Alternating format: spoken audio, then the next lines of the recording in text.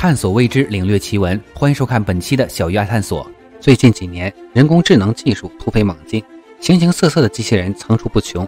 不知不觉间，机器人技术已经渗透到我们生活的方方面面了。本期节目就给大家介绍四种十分先进的机器人。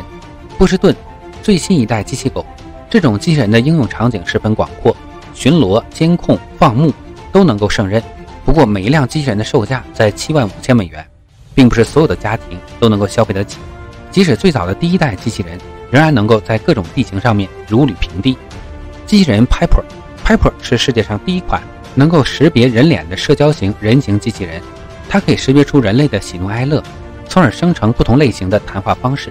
现在，这种机器人已经被两千多家公司和数十万家庭采用。Piper 可以在商店中充当导购员，这样可以在一定程度上增加商店的人气和商品销量。Piper 还可以充当前台，充当导购员。搬运机器人，这是一种家用的、用来做家务的便携型服务机器人。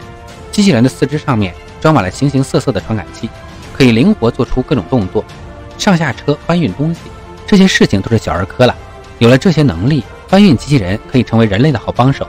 此外，不同的机器人之间还可以相互交换货物。S N 三 N O V A 机器人，这种机器人由阿蒙公司设计，是一种用于修复电子设备的机器人。当然，这种机器人彼此之间也可以相互修复。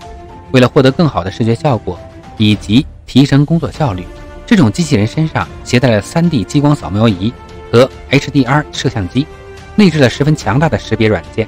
不过，这种机器人还处于试验阶段，并没有进行大规模的量产。科技的发展永无止境，人工智能也会一天比一天先进。